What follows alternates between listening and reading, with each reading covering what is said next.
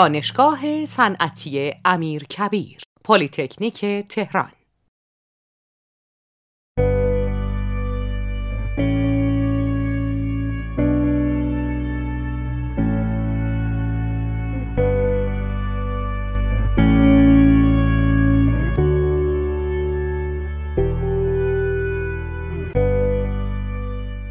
در سال 1230 هجری شمسی اولین مؤسسه آموزش عالی کشور با همت میرزا تقیخان امیر کبیر جهت تعلیم و آموزش علوم و فنون جدید به نام مدرسه دارالفنون و به عنوان نخستین دانشگاه در دوران معاصر ایران تأسیس شد.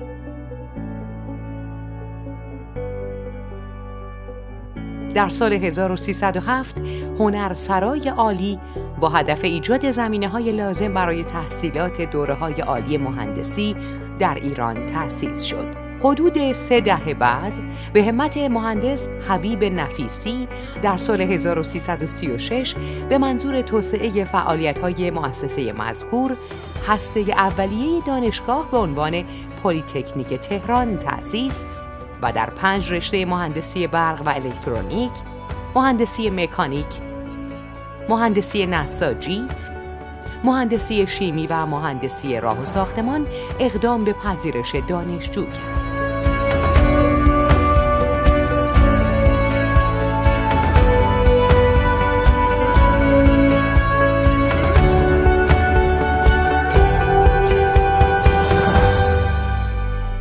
مهندس حبیب نفیسی به عنوان بنیانگذار پلیتکنیک تهران اولین رئیس این دانشگاه شد و با تلاش های فراوان جهت تأسیس و پیشرفت این دانشگاه سختی های زیادی را متحمل شد و در نهایت یادگاری ماندگار را از خود بر جای گذاشت. دکتر مجتهدی رئیس اسبق دبیرستان البرز نیز یکی از رؤسای پلیتکنیک تهران بوده است که منشأ خدمات و افتخارات ارزشمندی برای این دانشگاه محسوب می شود. پس از انقلاب شکوهمند اسلامی این دانشگاه به شهرت رادمرد معاصر تاریخ ایران زمین که به گسترش پایه های علم نوین و صنعت کشور احتمام داشت به نام دانشگاه صنعتی امیر کبیر مزین و معرفی شد.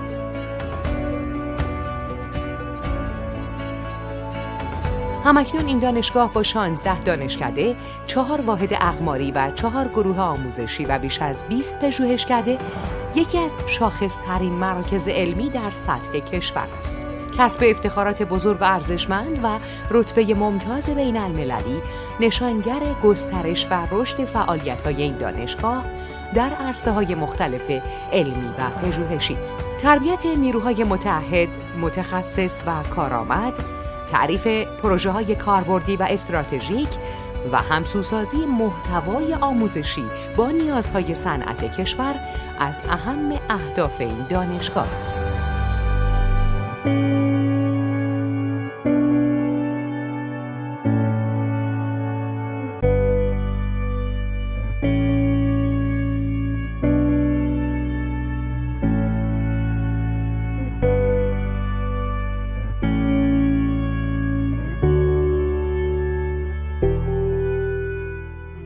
کتابخانه مرکزی و مرکز اسناد علمی دانشگاه صنعتی امیر کبیر پلیتکنیک تهران که در ساختمان شهید صبوری واقع شده است با بهرهگیری از فناوری های نوین به ارائه خدمات اعم از فراهم آوری منابع، سازماندهی و آماده سازی، تهیه پایگاه های اطلاعاتی و استانداردها در حوزه فنی مهندسی می پردازد. این کتابخانه یکی از غنی ترین مجموعه کتابخانه های دانشگاهی کشور در حوزه علوم پایه و فنی مهندسی می باشد. در حال حاضر کتابخانه و مرکز اسناد علمی دانشگاه شامل کتابخانه مرکزی، کتابخانه های دانشکده ای و واحدهای پردیس بندر عباس، ماهشهر و گرمسار است.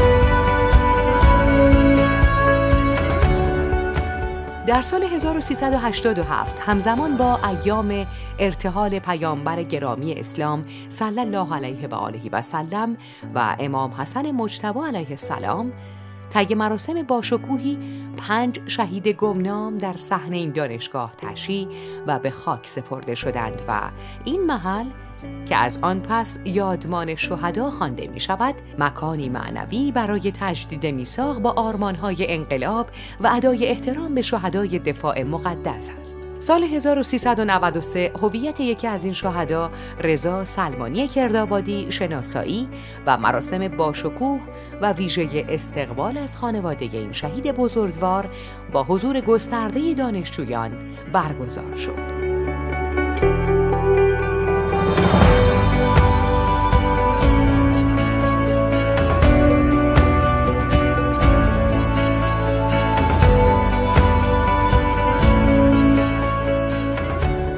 معاونت پژوهش و فناوری دانشگاه صنعتی امیرکبیر در راستای اجرای اهداف استراتژیک دانشگاه و ایفای نقش به عنوان دانشگاه نسل سوم و چهارم.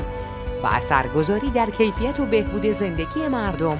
برنامه های گسترده ای را در توسعه فناوری و نوآوری در دست اجرا دارد. تأسیس مراکز فناوری و نوآوری به منظور توسعه فرهنگ نوآوری حمایت و پشتیبانی از رشد واحدهای فناور و ایده های نوآور و استقرار شرکت های دانش بنیان صورت پذیرفته است. یکی از این مراکز برج فناوری و نوآوری ابن سینا است. تعداد واحدهای فناور و پژوهشی نمایندگان مراکز تحقیق و توسعه صنایع و شتاب دهنده های ایده های نوآور به بیشتر از 130 واحد رسیده است. به منظور افزایش ظرفیت مراکز فناوری و نوآوری دانشگاه برج فناوری و نوآوری دوم به همراه مراکز نوآوری تخصصی در پنج دانشکده در حال نوسازی است همچنین برج فناوری محل استقرار شرکت های دانش بنیان رویشی دانشگاه واقع در خیابان بزرگمهر با ظرفیت 20 واحد راه اندازی و بهره برداری شده است.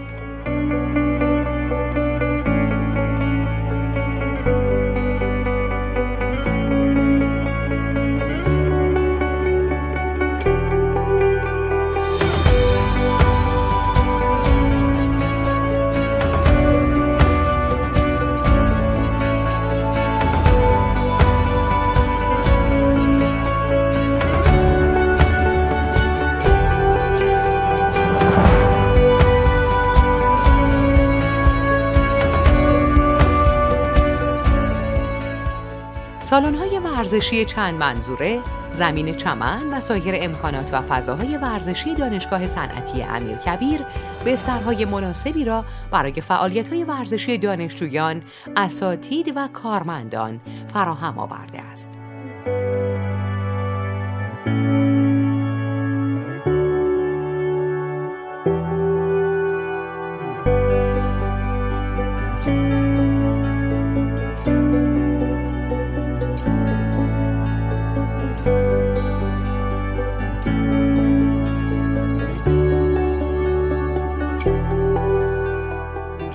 رسیدگی به نوسازی خوابگاه های قدیمی و احداث خوابگاه های جدید با امکانات بیشتر و به روزتر در دانشگاه امیرکبیر از اهمیت ویژه‌ای برخوردار است.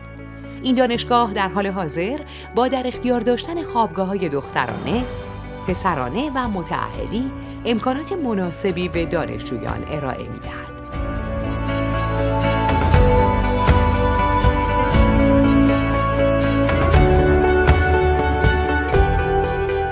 از دیگر بخش های دانشگاه امیرکبیر سالن های اجتماعات آن است که محل برگزاری اقسام گوناگون همایش های بین المللی و داخلی کنفرانس ها، سمینارهای بزرگ و جشنواره های مختلف است. آمفیتئاترهای مولانا، فجر و بهمن در این مجموعه جا دارند.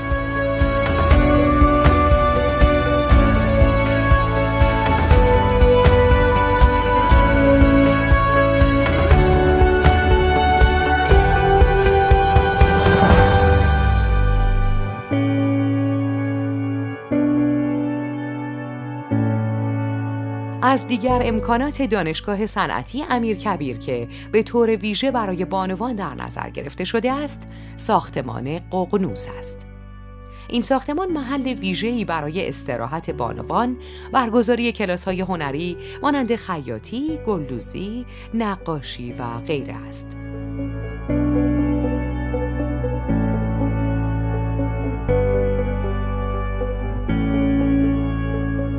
مرکز بهداشت و درمان دانشگاه صنعتی امیرکبیر به عنوان تنها متولی امور بهداشتی درمانی دانشگاه تقریبا از و تأسیس دانشگاه مشغول فعالیت بوده و از معدود مراکز بهداشتی درمانی دانشگاهی است که موفق به دریافت مجوز فعالیت و پروانه تأسیس از وزارت بهداشت، درمان و آموزش پزشکی شده و به منظور دستیابی به دانشگاه سالم اقدام به بسترسازی در زمینه های بهداشتی و درمانی دانشجویان، کارکنان و اساتید نموده است.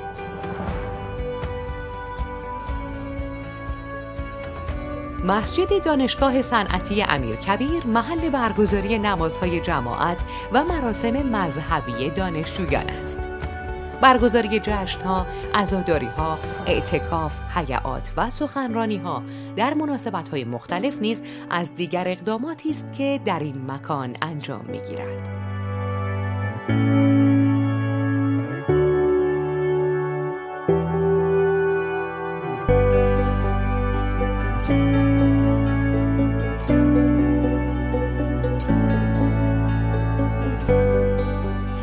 دانشجویی از دیگر مجموعه است که برای صرف وعده های غذایی دانشجویان در نظر گرفته شده است. توجه به بهداشت، سهولت دسترسی و نیز زیبایی های بسری از جمله مواردی است که همواره مورد توجه تصمیم گیرندگان این بخش است.